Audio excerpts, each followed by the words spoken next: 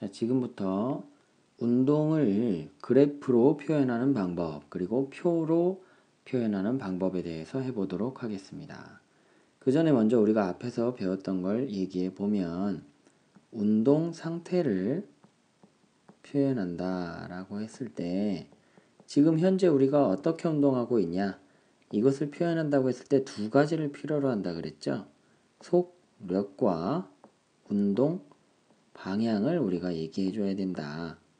얼만큼의 빠르기로 어떤 방향으로 운동하고 있는지 알아야 지금 현재 어떤 운동을 하고 있느냐 이걸 표현할 수 있다라고 얘기했습니다.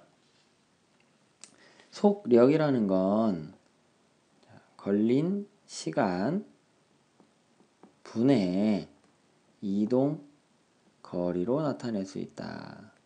그래서 단위를 보면 거리의 단위 미터 같은 거, 그 다음에 per sec 같은 시간, 킬로미터 per hour 이런 식으로 위에는 뭐 거리의 단위, 밑에는 시간의 단위로 나타내도록 한다. 라고 얘기를 했습니다.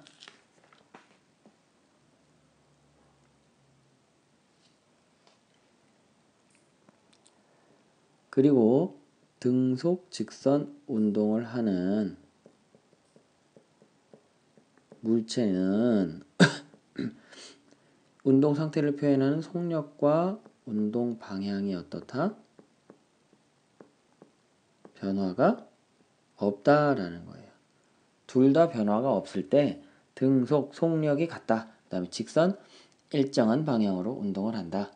그래서 등속 직선 운동은 속력과 방향, 운동 상태를 표현하는 두 가지 값이 모두 변화가 없을 때 등속 직선 운동이라고 하고 이때 작용하는 알자 힘은 어떻다? 없다. 0이다. 힘이 아예 없다는 게 아니라 알자 힘이 0이다 라는 점에 주의를 하셔야 되겠고요. 힘의 효과 중에 두 가지 운동 방향과 속력이 변한다 라고 했고 두 가지가 변화가 없기 때문에 힘이 그 중에 알자 힘이 0이다 라고 얘기한다고 했지요. 그래서 등속 직선 운동은 속력과 운동 방향 변화가 없고 그렇기 때문에 얘는 알자 힘이 0인 상태구나 라고 얘기를 한다고 했습니다. 먼저 우리가 운동을 표현할 때 아이코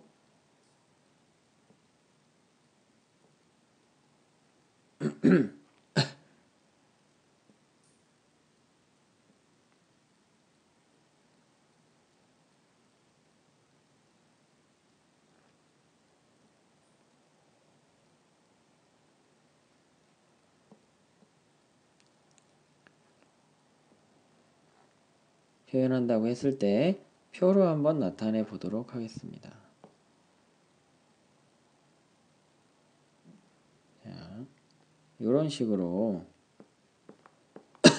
대충 한번 나타내 볼게요. 시간이 있고 시간 시간을 h 시간 말 그대로 시간은 초, 분, 시 뭐 이런 거 있는데 시 그 다음에 0, 1, 2, 3, 4, 5 교과서에 있는 거죠. 그 다음에 이동 거리를 킬로미터라고 했을 때 얘가 0, 30, 60, 90, 120, 150 이런 값을 나타낸다라고 할게요. 처음 내가 시간을 재는 0초일 때는 거리를 0으로 하고 그 다음에 시간이 1시간, 2시간, 3시간 감에 따라서 거리가 30, 60, 90, 120, 150 이렇게 커졌다는 거예요. 이걸 우리가 그래프로 한번 표현을 해 보면 자 이렇게 표현을 해 보면 가로축이 시간입니다. 시간 h 그 다음에 세로축이 거리에서 킬로 미터 이렇게 나타내는 거고요. 눈금이 있을 때 이렇게 1시간, 2시간, 3시간, 4시간 이런 식으로 그 다음에 30, 60, 90 이런 식으로 커진다라고 하는 겁니다. 그럼 0일 때는 어디? 거리가 0이죠. 이동 거리가. 그 다음 1시간이 지났을 때 어디에 있었어요? 30km 이동을 했지요. 여기. 그 다음에 2시간이 지났을 때 얼마? 60km까지 갔습니다. 3시간이 지났을 때 90km 갔고요. 마찬가지 4시간일 때 120 이렇게 커졌습니다. 그러면 얘네들을 쭉 한번 이어보면 자 이렇게 계속 커질 거다라는 겁니다. 찍을 때 가로축이 1시간일 때 쭉 세로를 선을 긋고 30km 갔다 그러면 쭉 가로축을 가로선을 그었을 때 딱 만나는 점 여기가 뭐예요? 점을 찍는 위치입니다. 아, 1시간일 때 30km 갔다. 2시간일 때 60km 갔다. 이런 식으로 그래프에 표를 보고 그래프로 나타낼 때 요 값을 보고 1시간일 때 30km 그러면 시간 1 쭉 올라가고 거리 30 쭉 가서 만나는 점. 그 점으로 우리가 표현을 한다. 점들을 짱짱짱 찍어서 이어가지고 그래프로 표현을 한다라는 겁니다.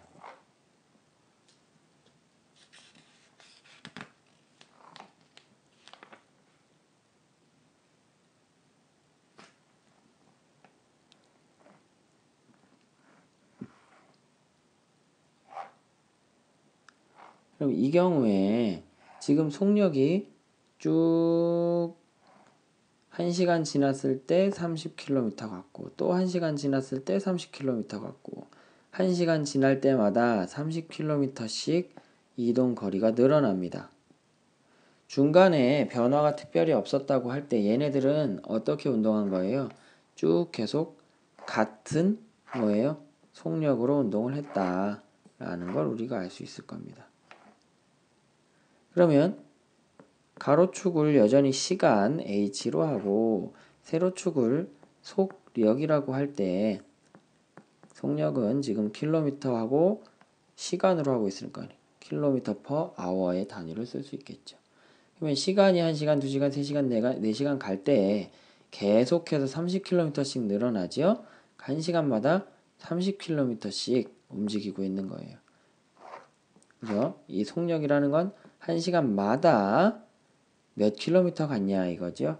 계속 30km를 갔으니까 어떻게 나타내면 되겠습니까? 이렇게 속력이 계속 일정하다라고 해서 나타내면 되겠지요. 이런 식으로 표현을 할 수 있겠다라는 겁니다. 그러면 여기서 우리가 여기서 우리가 이 밑넓이를 한번 생각해 보자라는 겁니다. 밑넓이. 이 그래프의 밑넓이를 한번 생각해 보자는 거예요. 그러면 얘는 지금 네모 반듯하지요. 그러면 면적을 어떻게 구해요? 속력 곱하기 시간으로 나타낼 수가 있습니다. 속력은 킬로미터 퍼 아워. 근데 지금 1시간에 30km 가고 있는 거지요. 거기다 시간 2시간, 뭐 3시간 이런 걸 곱합니다. 그러면 h가 약분이 되지요. 약분, 약분. 3시간이어도 마찬가지입니다. 그러면 결국 남는 게 단위는 뭐가 남아요? 킬로미터가 남지요. 그 다음에 값은 1시간마다 30km 가는데 2시간 간다? 60km 간다. 1시간마다 30km 가는데 3시간 갔다? 그러면 얼마? 90km를 간다. 이런 식으로 나타낼 수 있겠습니다. 그러니까 여기서 중요한 사실 속력과 시간을 곱하면 뭐가 된다? 거리가 남는다. 무슨 거리? 이동한 거리가 남는다. 그래서 속력과 시간의 그래프에서 이 밑면적을 구하면 뭐다? 그게 바로 이동 거리다. 라는 것을 잊지 마시기 바랍니다. 속력 곱하기 시간 단위로 봐도 거리밖에 안 남고요. 그 다음에 속력 곱하기 시간 했을 때 실제 해보니까 이동 거리가 남는다 라는 거 잊지 마시고 들어가고요. 그 다음에 거리와 시간 그래프에서 속력이 일정한 직, 등속 직선 운동에서는 그래프가 어떻게 나타나요? 이렇게 일정한 기울기를 가지고 나타난다. 한 시간이 지날 때마다 일정한 거리만큼 이동하기 때문에 얘는 직선으로 나타난다. 그런데 얘가 더 경사가 급하게 직선으로 나타난다. 그럼 한 시간 지났을 때 이건 좀 빨간색으로 표현해 볼게요. 한 시간이 똑같이 어이구 두껍게 한 시간이 똑같이 지났을 때 더 많은 거리를 이동한 거지요. 그러니까 기울기가 급할수록 급해 급하게 갈수록 뭐야? 이동 거리가 아니 아니 기울기가 급할수록 속력이 어떤 어떤 거다? 큰 거다. 라는 거. 그 다음 얘가 직선이면 어쨌든 뭐다 얘는 등속으로 운동을 한다라는 점을 이해하고 들어가도록 하겠습니다. 이 그래프와 표의 표현 방식을 가지고 우리가 뒤에 다른 여러 가지 운동에서도 살펴보게 될 겁니다. 정리해 보면 우리가 표를 그래프로 나타낼 때 여기 가로축과 세로축을 보고 가로축에서 0, 1, 2, 3 올라가는 점 땅 찍어 가지고 어떻게 해요? 땅 찍어서 세로 쭉 그리고 그 다음에 30일 때 가로축 또 쭉 그려서 만나는 점 여기다가 뭘 하면 됩니까? 점을 찍고 마찬가지 또 다른 것도 표에서 가로 세로 해서 만나는 점에다가 점을 찍고 걔네들을 쭉 이어주면 그게 바로 그래프가 된다. 표현을 이런 방식으로 한다라는 얘기입니다. 여기까지 하도록 하겠고요. 다음번에는 이제 속력이 일정하게 변하는 물체에 작용하는 힘을 생각해 보도록 하겠습니다.